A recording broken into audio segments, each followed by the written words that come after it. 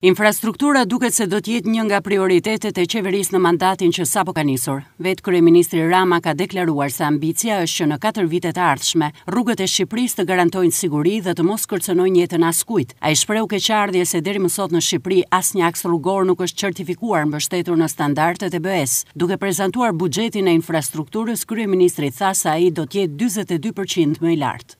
Ne kemi një buxhet për vitin e ardhshëm, i cili është njëzet e dy për qind më i lartë për financimin e infrastrukturës, që është një program kombëtar i dedikuar pikërisht për modernizimin dhe transformimin e akseve kryesore Kombëtare.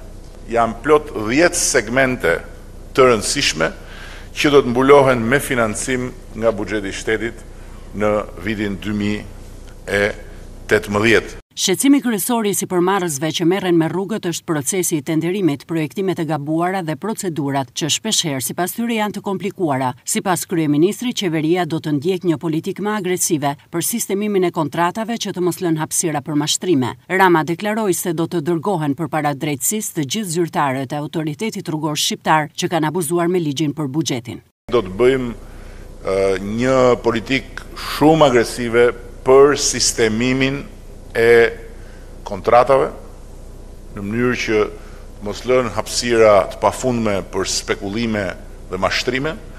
Për sistemimin e supervizionimit, që është një problem themelor në këtë vend dhe do të jemi me tolerancë zero ndaj të gjithë supervizorëve që do të mashtrojnë në dëm të buxhetit të shtetit e njëkohësisht do t'i japim fund historisë së akumulimit të borxheve. Drejtoria e Rrugëve është një nga shfaqjet më brutale të Shqipërisë së vjetër nuk ka lidhje me Shqipërinë që duam dhe kjo nuk është parullë po është fakt kërkon një reformë rrënjësore për të cilën ne po punojmë sikundër kërkon dhe një rritje të konsiderueshme të cilësisë së burimeve të veta njerëzore.